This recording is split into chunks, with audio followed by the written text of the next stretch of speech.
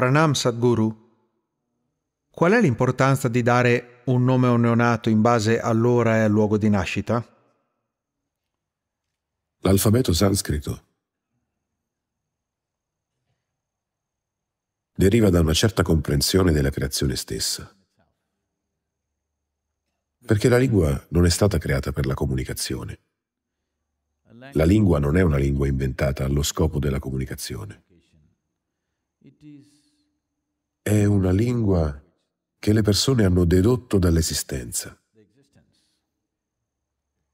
È una lingua che si è evoluta a partire dall'osservazione, non dall'immaginazione. In molti modi, i suoni che pronunci e le forme a cui ti riferisci con questi suoni sono connessi. Questo è ciò che significa un mantra. Un mantra significa un suono, un puro suono. Uno yantra significa una forma corrispondente. Per capire ciò, se conosci qualcosa di fisica, se almeno alle superiori hai studiato fisica, sicuramente hai avuto almeno un capitolo, due pagine, sul suono. Se immetti un suono in un oscilloscopio, uno strumento che misura il suono, a seconda della sua frequenza, dell'ampiezza e altre dimensioni del suono, esso produrrà una forma specifica ogni volta. Quindi un suono ha una forma ad esso collegata. Similmente, una forma ha un suono collegato ad essa. Ora, quando nasce un bambino, a seconda della situazione geometrica del sistema solare.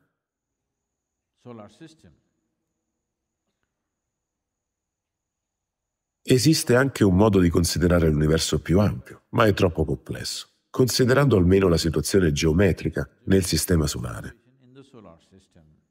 Le persone decidono che questo suono sarebbe il migliore per qualcuno che è nato a quell'ora di quel giorno. Questo ha una certa base scientifica, ma c'è un certo margine, perché l'alfabeto sanscrito possiede 54 alfabeti. Questi alfabeti possono essere suddivisi in alcune centinaia di suoni minori. È molto complesso dare un nome alle persone con questi suoni minori quando si tratta di rinominarli.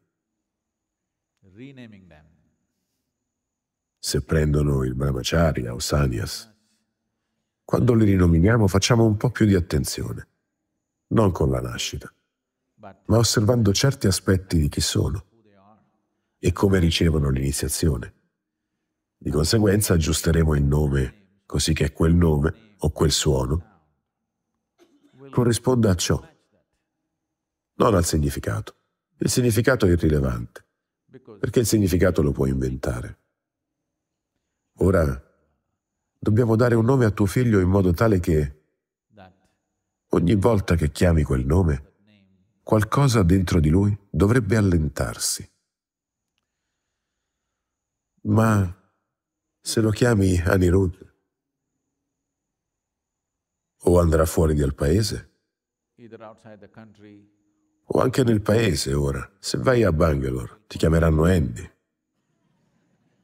Ok.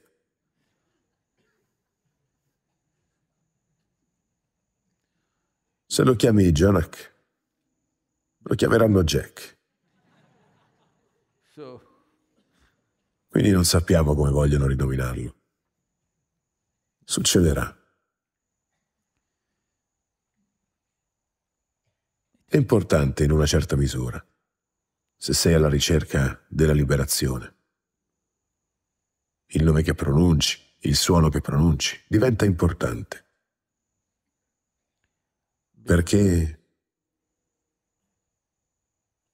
nelle società indiane si dedicava molta più cura nel dare un nome a un bambino piuttosto che a una bambina, perché, non perché, questo non è un pregiudizio sessista, perché devi vivere con quel tipo.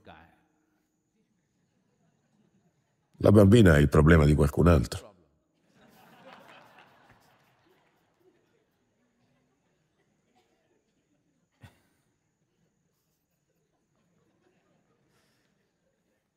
Perché lui ti starà intorno finché non morirai.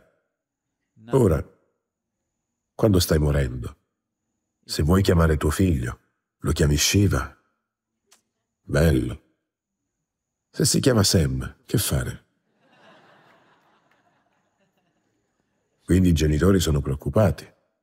Andremo avanti, perché lui stesso potrebbe non usare il suo nome spesso. Ma noi dovremo pronunciare questo nome ancora e ancora. Cosa funziona? Per la geometria della famiglia. Con una bambina non sanno come chiamarla, perché ancora non sanno chi sposerà.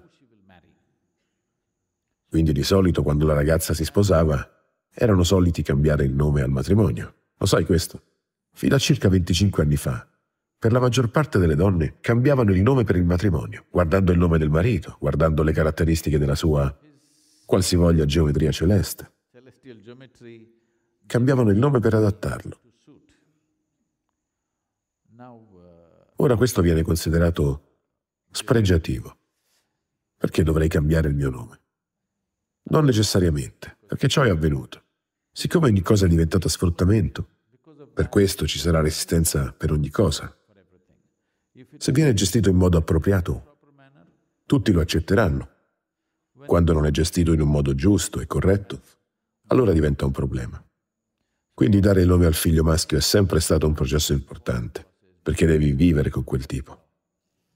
Lui non... Eh, di questi tempi vanno via, va bene, ma a quel tempo sarebbero stati con te fino alla tua morte. Quindi era importante che il nome che pronunciavi si adattasse all'equazione geometrica all'interno della famiglia.